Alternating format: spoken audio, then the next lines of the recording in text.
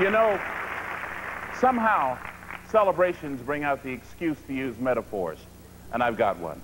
I like to think of Quincy as the Grand Canyon of music. You know, composing all those beautiful musical shades and layers, one right after the other.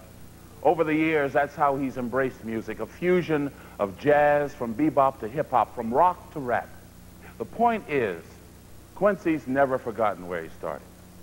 Note by note, the layers of his music keep evolving. A song, he said, should have all the beauty and color of every rose. It's quite a thought.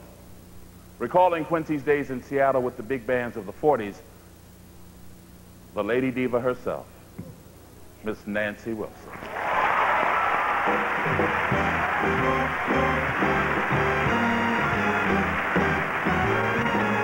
Do nothing till you hear from me. Pay no attention to what's said.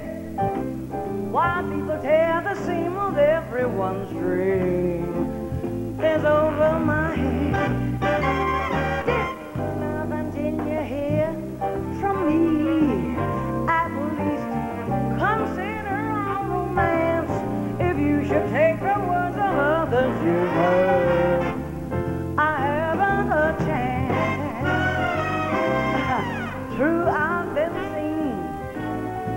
With someone new, but does that I've been untrue when we're apart?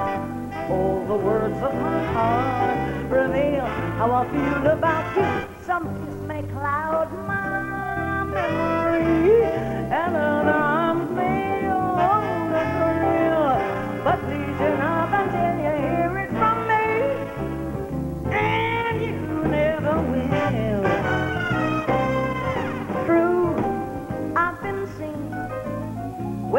you, but does that mean